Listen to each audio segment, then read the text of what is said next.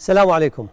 أحد المدرسين ضرب تلميذ راجلي معدل وسأله ليش ما كاتب الدرس؟ الطالب جاوبه ما مقتنع باللي موجود بالكتاب. سأله شنو الما مقتنع به؟ الطالب جاوبه أستاذ الكتاب يقول بلدي بلد غني لكن بيتنا إيجار ومبني من طين وملابسي مشتريها من اللنقة وكل أغراضي بالدين وكتبي مصدقين علي بيها. أستاذ بلدي بلد نفط وغاز لكن ما عندنا غاز نطبخ به وأمي تطبخ على الحطب. الكتاب يقول بلدي بلد خيرات لكن أني ما شفت الخير.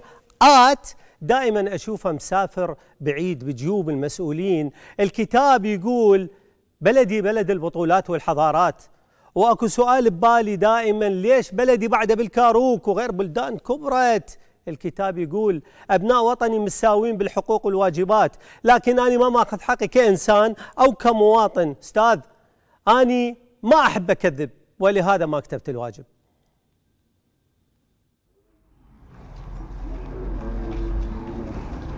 هذا إذا تشوفوه هو النفق مال آه، ساحة الرصافي واللي ما شاف الحلقة السابقة. هذا النفق موجود ما بين سوق السراي و شارع المدرسة المستنصرية القديمة مباشرة مقابل جسر الشهداء. زين؟ هذا قضيته قضية ومن سنين طويلة مأجري وما حد يعرف وبانين منا ومنا. تشوفون حجم البناء الحديدي مغطي كل المحلات. ليش هاي المحلات؟ مسقطة وكلهم دافعين سرقفليات وإيجارات وبالتالي تفضلوا هذا في غفلة من الزمن متأجر. أولا هو نفق. أولا هو نفق فعلى أي أساس يكون آه، يصير مخزن. هذا أكبر غلط ولهذا استجابة قوية لما طرحنا هذا الموضوع. آه، الأستاذ أحمد خوام مدير عام دائرة آه، بلدية الرصافة بالمباشر سوى كتاب إنذار لأصحاب هذا اللي مأجرين هذا النفق وصاير مخزن. وبالتالي وبالتالي هذا ما أعرف أسميه مخزن لو نفق أنتم يمكم. لكن حلوة أيضا ننتظر إحنا اولا من الجهة اللي هي متعاقدة ما أعرف ماخذته بالباطن بالباطل. هذا الموضوع راح ينحسن. وأيضا أدعو الإخوان في دائرة العقارات أمانة بغداد أن يحسمون لنا جواب هذا الموضوع. واني أشكر مدير عام البلدية لكن ما أشكر مدير عام العقارات اللي سيب الموضوع وما انتبه وما جاوبنا لأن هو أولى في هذا الموضوع. وأيضا أنا أرفع هذا الموضوع إلى الأستاذ عمار موسى كاظم الأسدي أمين بغداد في حسم هذا الموضوع وبالمناسبة إحنا مو بس هذا النفق هواية تفاصيل مغيرين جنسها أنفاق بنايات كذا متغيرة وبالتالي تحت موضوع معين اسمه إيجار. طيب هسه أنا صراحة يعجبني لما مسؤول يجاوبني أولا أنا ما طرح موضوع خاصة ببيت أهلي. أني طارح موضوع عام وقضية عامة هسه لما لما أي مواطن ينسحق على هذا الشارع ببخت من؟ ببخت المخزن ببخت اللي أجره ببخت اللي ضايق المحلات كلها ويظلون يدقون سويحلي وما يعرفون ويا من يحجون عدة مرات أهل المحلات طارحين موضوعهم لكن ما حد ما حد يستمع لهم طيب من سنين طويلة هذا الموضوع يفتح به تحقيق ونبلغ به إحنا كإدارة برنامج دفتر ملاحظات في القناة العراقية العامة لأجل أن نوقع على هاي العلة ونعرف من المسبب. هذا الموضوع خطر جدا لا تصوروا سهل.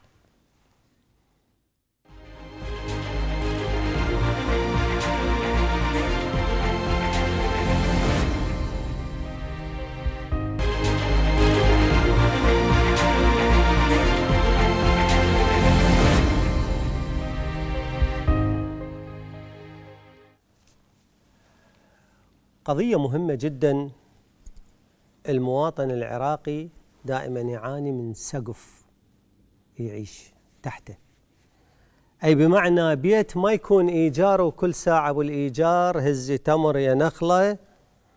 وهذا الموضوع ما حد يحس به إلا اللي مأجر. ولهذا دائما نتحدث عن ضرورة وجود استثمارات تخص المواطن البسيط والدرجة الوسط. أنا ما أريد أقول على المواطن العراقي مواطن فقير. المواطن اللي دخله بسيط جدا واللي أحيانا حتى ما يلقى وكثير من يعني مع الأسف من من المواطنين. يعيش حياته كلها يريد يشوف بيت اسمه بيت مو إيجار بيت ملك. الناس قام تركض على خمسين متر قام تركض على خمسة وسبعين متر ويمكن حتى أقل شو نقول؟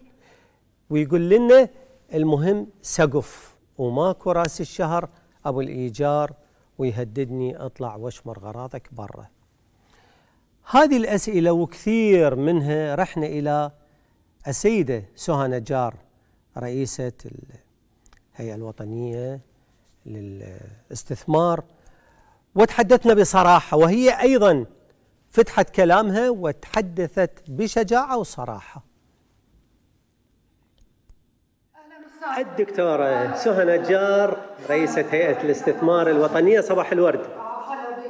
شلون صحة؟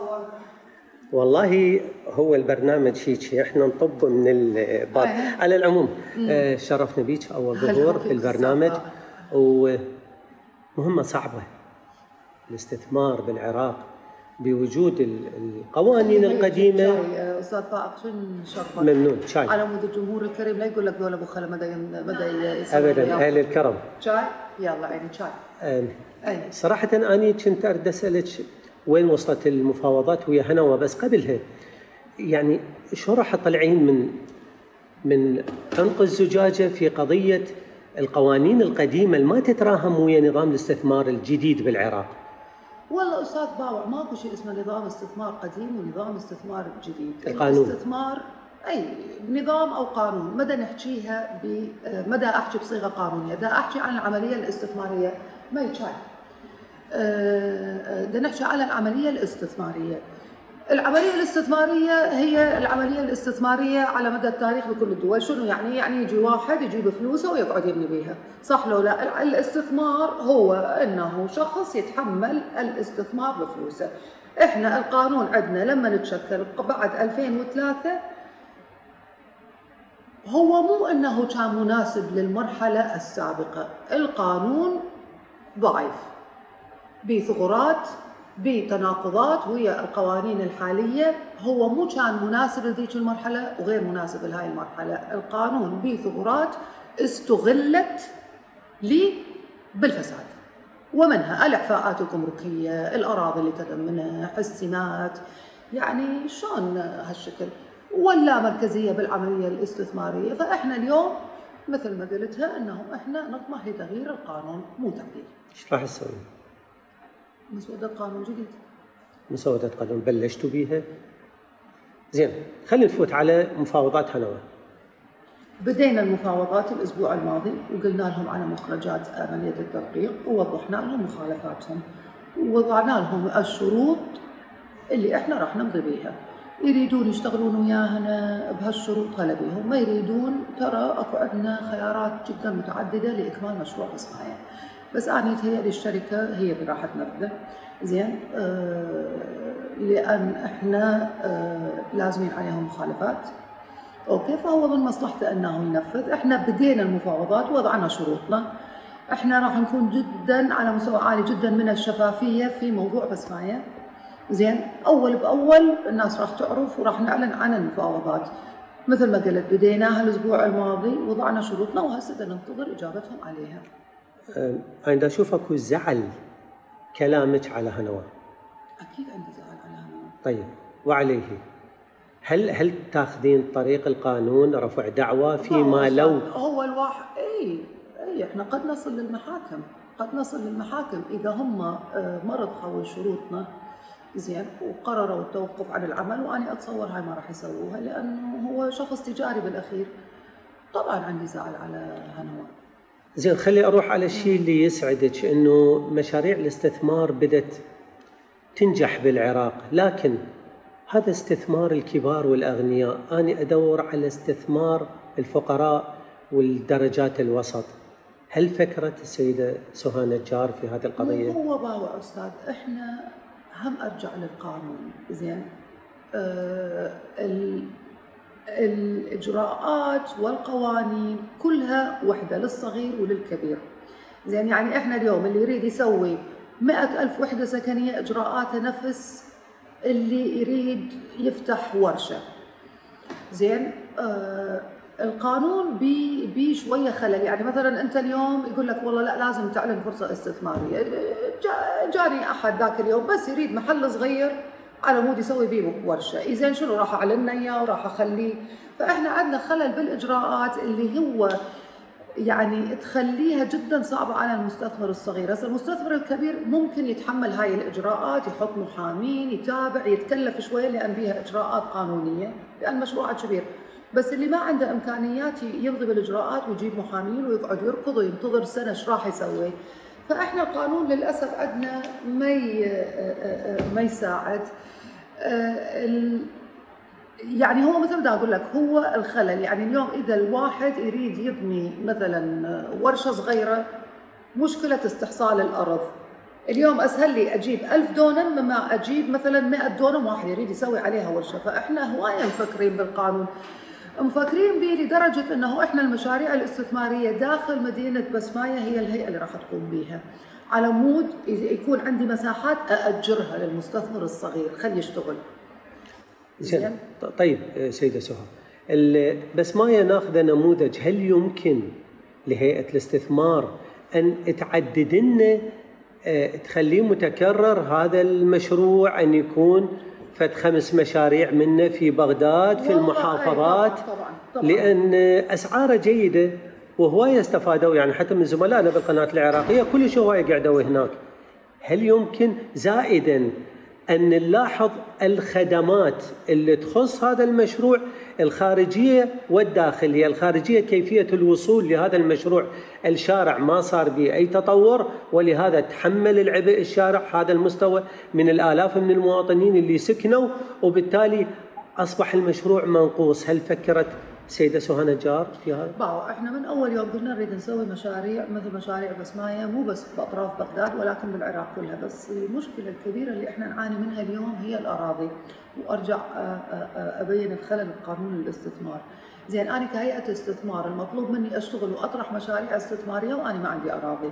زين لما أخاطب الوزارات يابا شنو الأراضي اللي عندكم ما حد لأن هاي الأراضي هم يخافون كل وزارة مكلكله على أراضيها صحيح صحيح. جزء منه إنه يعني للاسف للأسف تاريخيا اقترنت كلمة الاستثمار بالفساد فيقول لك هاي راح نعطي أراضينا راح يضيعوها وينطوها وفساد وهالشكل. فما عندنا إحنا أدوات نشتغل بها يعني شلون اليوم تتوقعون الهيئه الوطنية للاستثمار تطرح وتبني العراق؟ إذا اني حتى الأراضي ما عندي. هاي مشروع الرفيل. أخذنا به موافقة من مجلس الوزراء. لليوم اني مدى أقدر أتمكن زين شنو الحل؟ مو هو الحل أيضا بتعديل القانون. إحنا يعني آه لازم يكون عندنا مخزون أراضي كهيئة استثمار. الأراضي وما ما حد يقبل يعطيك لا الوزارات لا الهيئات لا المؤسسات. طيب وعليه هل يمكن رأس الحكومة أن يتدخل في هذا الموضوع أو؟ آه مو هو إحنا رأس الحكومة هو شنو؟ هو مجلس الوزراء هو يعيش يعيش نفس أزمتك. زين. آه متى نحكي من الناحيه السياسيه لا لا لا لا, لا أزمتك إنه ما يقدر يوفر لك أراضي. زين الأراضي عند الوزارات. هسه أكو أراضي للوزارات لحاجاتها آه، مدى نجيرها العراق ما شاء الله ثلاث أرباعها فارغة ما بيها بناء. زين بس أنتم الأراضي هاي اللي هي تاريخيا باسمكم أوكي خليها باسمك بس انطيني إياها. انطيني إياها اشتغل بيها. سهى هل تخافين من الفشل؟ آه في هاي المشاريع؟ الفشل ليس خيار بالنسبة لنا إحنا ما راح نفشل.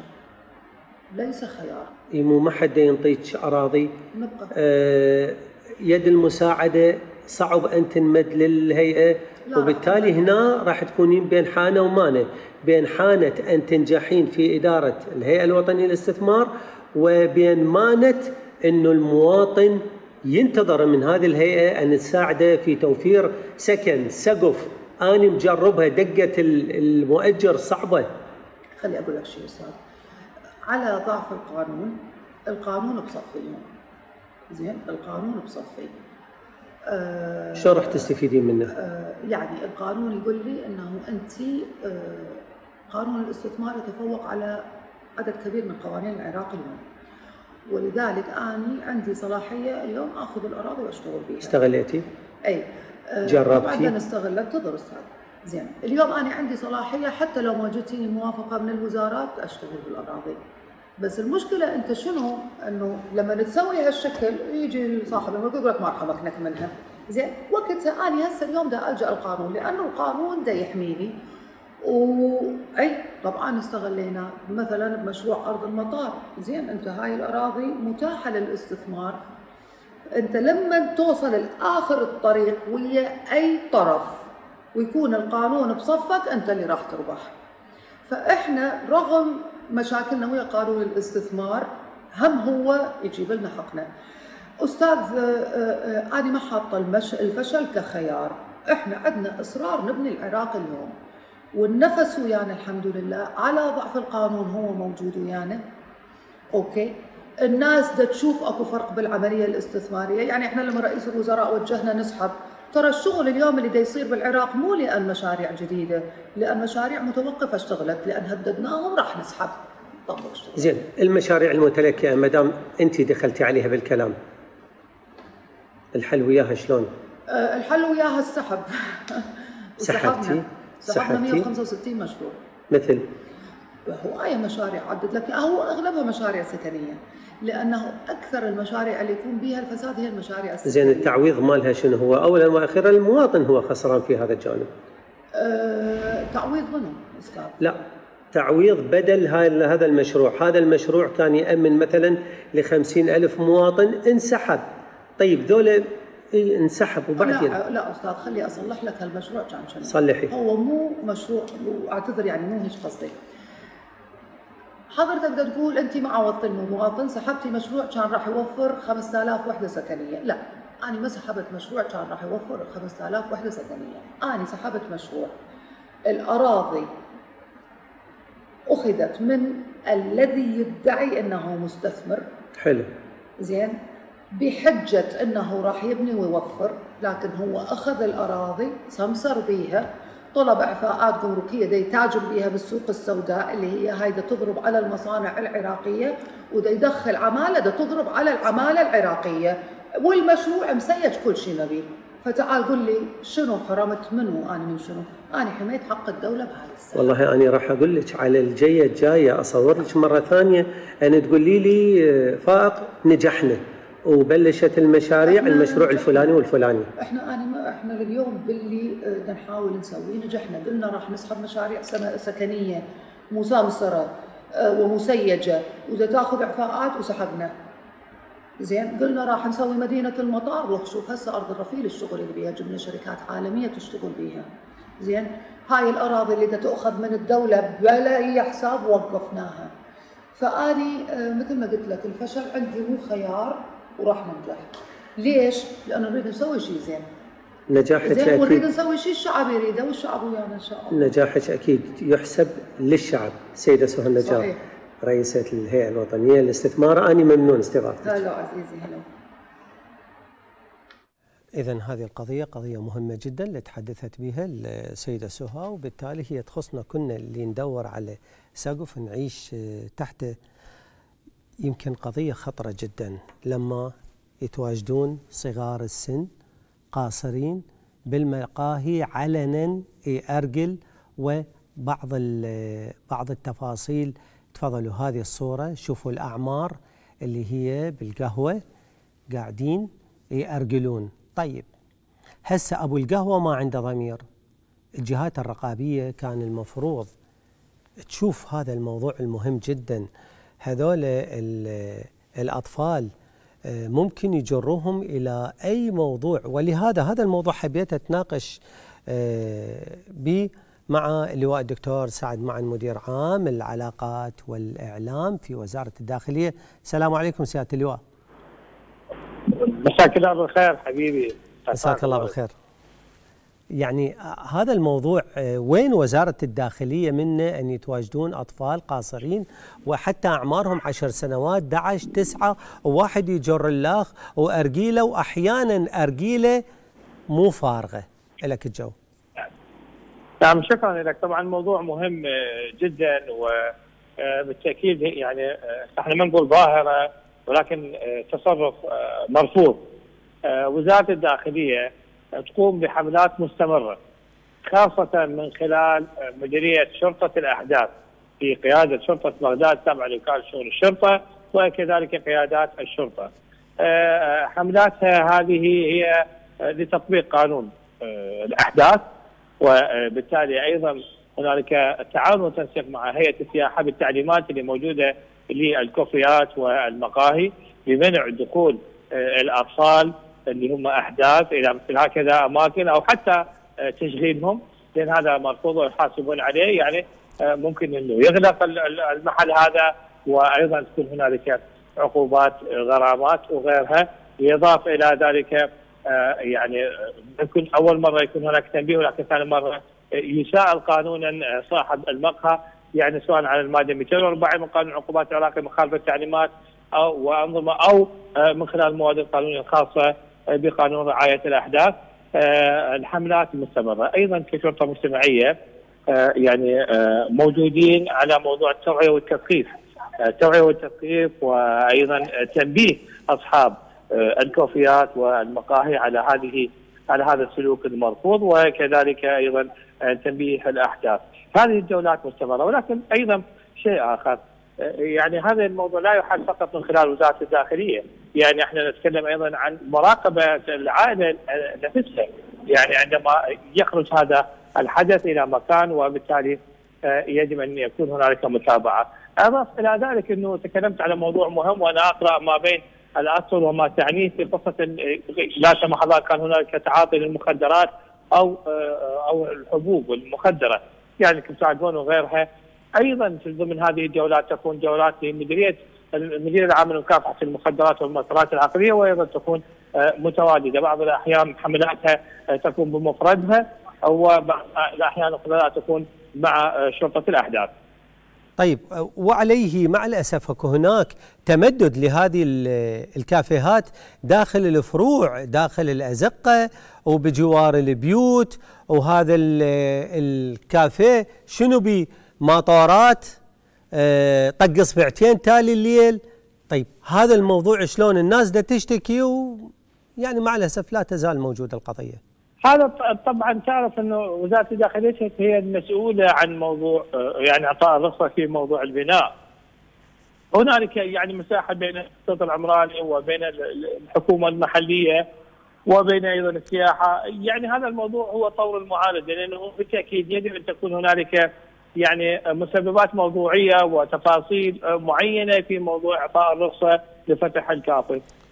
مع ذلك إن شاء الله سيادة اللواء الكافيهات تنفتح بدون رخصة. نعم وهذا طبعا خطأ ومخالفة وهنالك إن شاء الله حملة واسعة سوف تكون من خلال وزاره الداخلية خاصة ما يخص الأحداث وأيضا التوقيتات بالنسبة لفتح وغلق هذه المحال. اللواء الدكتور سعد معن مدير عام دائرة العلاقات والإعلام وزارة الداخلية حضرتك منور ويانا دائما. شكرا. إذا هذا الموضوع لأهميته لأهميته. راح نبدي نتحدث به مثل ما السلسلة اللي مشينا بها قبل حلقات وهذا الموضوع لا تستغربون لا تستغربون أنه من الممكن أن تشوف ابنك صاحب العمر العشر سنوات ماخذي أصدقائه وداخلين إلى هذا الكوفي دارج الكلام وبالتالي الخطورة داخل هذا الكوفي كل هذه القضية كون آه، يعني لازم واحد يحط نقطة الخطر وين؟ بالمناسبة آه، لابد أن أحيي الزملاء داخل الاستوديو الأستاذ الفلكي الباحث الفلكي الكبير وصاحب الشهرة العالمية الأستاذ علي البكري وأيضا تحياتي إلى المنتج آه، الزملاء آه، في قسم الإنتاج أيضا متواجدين ويانا. المهم خلي بعد نجي على آه، انطونا صورة الكتاب اللي رفعها المدير العام استجابة بلدية الرصافة مدير عام بلدية الرصافة المهندس أحمد خوام. هذه هي صورة الكتاب اللي بعثها آه، سيد أحمد خوام إلى الجهة. هذا إنذار طبعا هو قانونا هيك يصير الموضوع. لكن على ما يبدو راح تكثر الإنذارات مثل هذه لمكانات عديدة في بغداد. وأيضا أتمنى على المحافظات يحدون حدو السيد أحمد خوام لأن هذا موضوع مهم جدا ومو سهل تغيير آه، جنس المكان. يعني لما الدولة صارفة ومخططة وتصميم لنفق بعدين يجي شخص ما. أنا بعدني ما لاقي في رقبته منه. شخص ما اجى وقال له تعال ابني منا وابني منا انطيني المالات وروح خذ راحتك. طيب خلونا نجي إلى طيب خلينا نجي إلى شارع الرشيد وضرورة إعادة شارع الرشيد. هذا لو في أي بلد لو في أي بلد تصوروا عمره أكثر من 100 سنة من يوم اللي آه، تم آه، تأسيسه وهو بالبداية عملوه لأجل حركة العجلات العسكرية. وبالتالي مشى شارع وانوجدت به أشياء مهمة جدا وبالتالي حال الشارع الآن هذا إحنا صورنا في يوم عطلة الصبح. كان يوم جمعة وهذا التصوير قبل أشهر بالمناسبة شوفوا إحنا وين وقفنا بالتصوير البطيء. هذه من أهم وأهم وأهم الأبنية اللي موجودة في شارع الرشيد وحتى بغداد كلها هاي بناية بيت لنج اسمها. بناية عمرها بعمر الشارع أو أقدم أقدم. وبها مكانات مهمة جدا مع الأسف تم طمرها وطمرها قسرا وإحنا نتحدث عن آه، مكتبة مكنزي مكتبة مدبولي في وسط القاهرة. معلم سياحي ثقافي مهم. الدولة تدعمه وسفرات سياحية يروحوا له وإعلانات عن مكتبة مدبولي وإحنا همينا لما نروح إلى القاهرة نروح من ضمنها مكتبة مدبولي. طيب بالمقابل مكتبة مكنزي هي أقدم من مكتبة مدبولي أقدم بعشرات السنين هل يعقل تتحول مكتبة إلى محل قنادر؟ هل يصير؟ هاي وحدة روح هذا شنو اللي متوسط الشارع عيني؟ هذا مدخل البنك المركزي ومجموعة البنوك اللي هي الرافدين والرشيد والأوراق المالية. هذا شارع الرشيد يا ناس يا عالم. أكثر من مئة سنة احتفلنا بحزن قبل كم سنة؟ بمرور مئة سنة على إنشاء وشق هذا الشارع. وش تفضلوا شوفوا شوفوا الأبنية اللي موجودة هسه الآن صاير أزبل من الزبالة. أزبل من الزبالة. صار ما تعرف شنو اللي بيه وهذا شارع الثقافة. تفضلوا روحوا إلى شارع الثقافة في عمان في عمان في الأردن. وتفضلوا روحوا شوفوا يسوون السهرات التجمعات الثقافية بيه. وإحنا نحول هذا الشارع المهم جدا. يا ناس شارع الرشيد. الأبنية اللي بيه كلها تراثية وبعضها يوصل إلى الميتين أي بمعنى أثر يتحول. تشوفوها مهملة مفلشة. طيب بمن تفتخر؟ إذا أنت شارع الرشيد ما تفتخر بيه بمن تفتخر إيش عندك؟ الحمد لله يلا قبل كم يوم سلموا آه، دار الوالي إلى الأخ والصديق العزيز الموسيقار العراقي صاحب الشهرة العربية والعالمية نصير شمة. وبدوا دا يعملون به لأجل تحويله إلى بيت العود. معلم ثقافي. طيب هذا بيت العود ويقابله الشارع وتطلع إلى منطقة الميدان. بيها الميدان؟ وتأخذ يمنه مجموعة المقاهي الجميلة جدا مقهى كلثوم مقهى الزهاوي. البقية مقاهي تملي العين. ما بيها أهمية وما مهتمين بيها. المفروض أمانة بغداد تبادر. هذول الناس اللي حافظوا على هذه المعالم كون أدعمهم. أيضا الدولة كون تدعم. شارع الرشيد مثل ما سويتوا لنا شبرين ونص بالنسبة لشارع المتنبي. والصرف ما ما انصرف به وحلو حولتوا لنا إياه. الإخوان المصارف وغيرها وأيضا أمانة بغداد واللي شارك في إعادة إعمار آه، وترميم شارع المتنبي. روحوا شوفوا شارع المتنبي وحولوا لنا شارع الرشيد هذا المعلم الثقافي المهم. دوروا على المقهى البرازيلي. منو صاحبه؟ رجعوه. انطوه فلوس عمروا له. هذه معالم مهمة جدا. طيب خلونا نروح إلى واسط. ومعمل آه، نسيج في واسط. يعني صراحة أنا مع الأسف دا أشوفكم حالات مؤلمة لكن لابد أن نعرضها. حتى المواطن والمسؤول والمعني يشوف. السلام عليكم ورحمة الله وبركاته. اليوم لنا جولة في معمل نسيج وحياكة واصل آه هذا المعمل طبعا من أكبر المعامل الاقتصادية في العراق. أنشئ يعني منذ زمن بعيد آه فيه أجهزة عالمية وحاصل على شهادة الآيزو العالمية والآن يعمل لكن ليس بكل أقسامه. يحتاج إلى توفير مواد أولية يحتاج إلى طاقة أيدي عاملة يحتاج إلى الكثير. آه نختصر طبعا الموضوع ويا مسؤول إعلام مصنع نسيج وحياكة واسط وراح نتعرف على شنو المعوقات شنو اللي يحتاجه هذا المعمل. هو ما يؤسفنا يعني إنه نشوف هذا مثل هكذا معمل كبير وحاصل على شهادة عالمية لا يعمل بطاقة بكل يعني طاقته الإنتاجية يحتاج إلى دعم يحتاج إلى ترويج. آه السلام عليكم.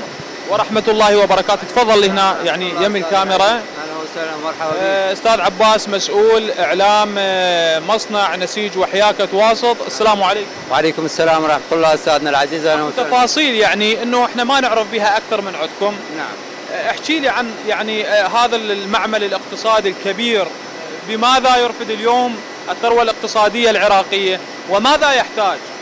نعم أستاذنا العزيز اليوم المصنع ما يخفى على الجميع رغم كل الظروف اللي تحيط بالمصانع المتبقية في المحافظات الحقيقة إلا أن مصنع نسيج وحياكة واسط حقيقة هو يمتاز بانتاجه وعمله آه، المتواصل حقيقة. اليوم آه، في مصنع نسيج وحياكة واسط نمتلك آه، مصنع كامل لصناعة البيرية العسكرية بمواصفات عالمية. اليوم الماكنة حقيقة رومانية والخيط أجنبي والواقف عليها فقط عراقي يا أخي. وسعرها ب 5000 دينار ترى. هذه هذه البيرية العسكرية سعرها 5000 وقاعد تشترى من آه، مستوردة طبعا من دول خارجية يصل إلى 35 دولار. هاي اللي يشتروها من الخارج يعني قصدك؟ نعم نعم. طرقنا الأبواب وقلنا لهم يا هذه البيرية ما يا أخي هساني ما والله يعني الموضوع هو آه، بكل الأحوال أنت هسه عوف يعني شجع المنتج الوطني هسه بكل الأحوال أنت اليوم هذه البيرية سعرها زهيد ممكن إنه تشوف مواصفاتها أنت أطرق بابي وشوفها و... يعني هي الدعوة أو الرساله لمن توجه إلى توجه إلى وزارة الدفاع والداخلية باعتبار البيريل منو يستخدمه يا أستاذ؟ يعني من المن أنا ابيعها ابيعها بالسوق مثلا للمواطن العادي لازم يطرق بابي وزارة الدفاع والداخلية. وبالمناسبة إحنا طرقنا ابواب هواي تدري هسه أنا عندي 215 ألف بيريه عسكرية بالمخازن؟ هذا يعني هذا حقيقة هذا رقم رقم ممكن إنه ينعش الاقتصاد. ليس فقط بالمصنع الاقتصاد العراقي. أنا اليوم إذا أفعل هذا الموضوع وما شاء الله إحنا العسكر والجيش عندنا يعني ممكن ان اشتغل بس عليه. طيب هذا جانب، الجانب الثاني المعمل هل يعمل بكل طاقته الإنتاجية؟ هل جميع أقسامه تعمل؟ هناك أماكن يعني شاهدنا مثل أماكن صار لها كثير ما مشتغلة. اليوم شنو اللي نحتاجه حتى نفعله؟ هي رسالة نريد نوجهها للجهات المعنية حتى نفعله بشكل كامل، العامل يشتغل، واللي يعني المعلومة اللي وصلتني إنه آه، أعتقد 1000 وكم عامل يشتغلون بالمعمل 1760 في حالة إنه آه، يدعمني وزارات الوزارات على الصحة. أنا أنا اشتغلت للصحة في زمن جائحة كورونا.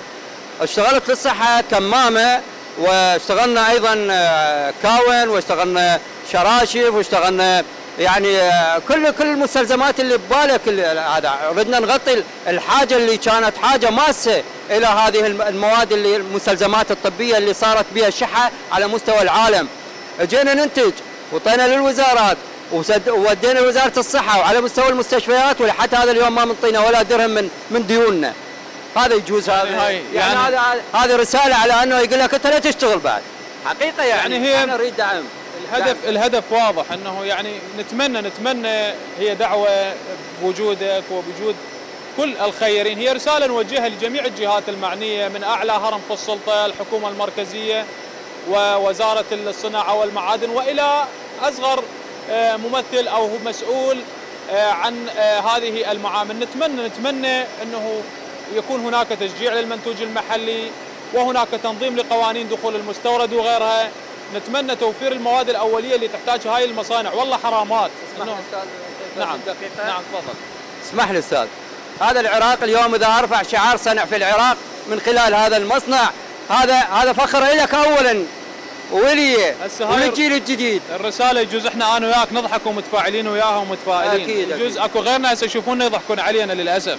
للأسف ويشمتون نعم نعم. نتمنى هذه الرسالة قد توصل زميلي فائق وهي بحد ذاته يعني إذا أشوف الصورة والله يعني أمر مؤلم ومؤسف أن نرى هكذا مصنع هو. يعني آه، ليس لديه الدعم الكامل والاهتمام الكامل ما نتمناه من جميع الجهات المعنية. ليس في محافظة واسط فقط. كل محافظات العراق أكيد بها مصانع وأكيد بها معامل. نتمنى تشجيع المنتوج المحلي آه، نتمنى إنه دعم هذا المنتوج. هذا منتوجنا هذه صناعتنا العراقية وبشهادة عالمية شهادات عالمية ومدعوم. مثل ما تفضل هنا يعني جودة الخيط المستخدم جودة المادة الأولية. لكن نتمنى دعم واهتمام أكثر. يعني هذا اللي نقدر نقوله. والسلام عليكم ورحمة الله وبركاته. طبعا يتابعونا أسماء مهمة جدا. تحياتي إلى الزميل الإعلامي محمد أرحم الطائي وضمير غائب وأيضا آه، لابد الإشارة إلى متابعة النحات العالمي نحات الفولاذ الأستاذ أحمد البحراني واللي ما يتابع هواية آه، أحمد البحراني مصمم ومنفذ آه، كأس الخليج. وأيضا آه، هو اللي عمل عنده معرض مشترك مع مشترك مع بوتيرو. طبعا هذا واحد من أكبر النحاتين العالميين. وكذلك لازم ما نصغر من ربعنا أحمد البحراني. اسم إلى حسابات مهمة جدا عالميا آه، لا يصير مع الأسف مغني الحي لا يطرب. أريد المغني الحي العراقي يطرب. آه، آه، عمل أستاذ أحمد البحراني عمل مع مصمم كأس العالم كازانيكا وأيضا عنده نصب مع الأمم المتحدة في خمس قارات آه، عددها خمسة وكأس العالم لكرة اليد أيضا هو صممه ونفذه أكبر حصان في العالم وتعاون مع شركة فيراري تصوروا أحمد البحراني هذا الاسم لازم ننتبه له ونحتضنه أكثر. أخيرا العراق التفت له مع الأسف. تعاون مع شركة فيراري وشركة رولز رايس. تشوفون الأسماء شنو. وأشياء عديدة يمكن أحتاج أكثر من ساعتين. يلا أتحدث عن هذا الفنان والقامه العراقية الفنية. وبالمناسبة قبل أيام اجى والتقى بوزير الشباب والرياضة أستاذ أحمد درجال عدنان درجال وبالتالي الآن أكو عمل إذا تلاحظون آه، الكأس آه، النصب اللي موجود في بداية مدخل الخارجي للمدينة الرياضية في البصرة. طيب. حتى نشوفكم كواليس. قبل أيام ولا تزال كانت عندنا تغطيات لشهر محرم الحرام. ونشوفكم شلون يتواجدون زملائنا في كنترول العراقية. انطيني التلفزيون العراقية أثناء تغطيات العاشر من محرم. هذا هو كنترول العراقية. زميلنا المخرج أحمد تشوفون اللي واقف هو زميل آه، مؤيد جاسم شتت. بالتالي اللي قاعد هو أستاذ نوفل مدير التلفزيون اللي واقف الآن بالنص أستاذ نوفل يمه آه، زميلنا المخرج عمار محمد مطر. قلت لكم اللي واقف على يمين أستاذ نوفل هو الزميل والإعلامي الكبير ومقدم البرامج آه، مؤيد جاسم شتت وزملائنا كثيرين منتظر الإنتاج آه، موجود بالأخير هذاك الشباك اللي تشوفوه. أها. زميلنا المرسومي مهندس الصوت وأيضا راح تشوفون تطلع لقطة أخرى موجود زميلنا السي جي آه، علي. هذه الخلية خلية النحل كانت موجودة بالمناسبة هذا يمكن ربع العدد الموجودين على مدار الساعة وإلى أوقات متأخرة. التغطيات يعني المباشر كان ينتهي ساعات ثلاثة بالليل وبقوا آه، إلى أوقات آه، الحمد لله نجحت نجاح باهر والعالم والوطن العربي وحتى الجهات المسؤولة أشادت بتغطيات القناة العراقية. ذاك هو أستاذ نوفل عبد الدهش مدير تلفزيون العراقية منتظر على اليمين. تحياتي لكل الزملاء الأعزاء اللي آه، قاموا بهذه التغطيات. طيب خلينا نروح. إي هسه من تطلع من بغداد باتجاه الكوت الشارع اللي بيه مجمع بسمايه هذا الشارع طبعا استلمته شركة حمورابي وتحياتي إلى مديرها العام الأستاذ سعد الدين. واللي واقع في أزمة كبيرة جدا هو عدم وجود الأموال آه، اللازمة لأجل تغطية آه، الديون بالنسبة إلى المتقاولين. ويا هذه الشركة القضية أنا اللي أريد أطرحها وطرحتها في الحلقة السابقة. هسه هذا شارع خط سريع؟ تمام؟ تمام. على اليسار تشوفون الجزرة الوسطية؟ هسه لما توصلون إلى جوار أها تشوفون هذا؟ فتحات تضطر السيارة مباشرة توقف تريد تستدير تجي السيارة المسرعة أو التريلة ويفوت بي جول ومع الأسف نخسر أرواح آه، مع الأسف. يعني هذه القضية كون لازم تنحل وأنا عدة مرات حدثت أنه لازم هذه الجزرة الوسطية تنسد ويروحون للأخير أكو ساحة ويرجعون وبالتالي راح ننقذ كثير من الأرواح. المواطنين هذه تقريبا بشكل يومي أكو حادث تقريبا بشكل يومي حادث أو اثنين أو ثلاثة. طبعا خط سريع وسيارات توقف فجأة والبعد ربما ما منتبه أو ما يلحق ومع الأسف تضيع علينا هاي. طيب خلونا نروح إلى سوق الباب الشرقي وصبات أبدية. أنا هذا أوجه ندائي إلى الإخوان في عمليات بغداد وأيضا أمانة بغداد عمل مشترك. هذا السوق وواحد من أهم الأسواق في بغداد في وسط الباب الشرقي. إحنا نتحدث عن وسط بغداد وأنتم تشوفون لما عرضنا موضوع آه، اللي على اليمين ده تشوفون هاي التشينكو هذا تم تغطية المكان آه، حديقة الأمة لما عرضنا الموضوع عرضنا الموضوع آه، بالبرنامج مباشرة استجابة سريعة لأمانة بغداد وبالتالي الآن هسه تروحون تشوفوها بها بناء وحفريات و و و وتصميم مهم جدا لإعادة روح هذه الحديقة. المهم على اليسار شوفوا وين ذاك ذاك هو السوق. فأتمنى ينشال هذا حطيناه في وقت كان الوضع العام في بغداد مربك جدا ومرتبك وبالتالي هذا يكون نسوي صورة حل. المهم أني ما راح أختم لكن لابد أن أشكر الزملاء في القناة العراقية وأيضا الشكر موصول إلى الزميل المخرج. آه، موضوع مهم جدا لازم أتحدث فيه. طقعان ورقعان وفرار اللئيم. طقعان ورقعان اخوان عاشوا عمرهم بخير بعضهم. ما احتاجوا أي شيء. واحد يسند الثاني وواحد يدافع عن الثاني. عندهم دكان مرتب. طقعان اختصاصه يبيع شاي فل. رقعان عنده تانكي دهن سيارات همفل وصار لهم سنين عايشين بأحسن حال بنفس المحل. إلى أن إجاهم فرار اللئيم اللي يريد يشتري دكانهم وهم ما يرضون. قام يقرب راس هذا وراس ذاك وينافق بين طقعان ورقعان وفعلا قدر يفرق بينهم ويسوي مشاكل.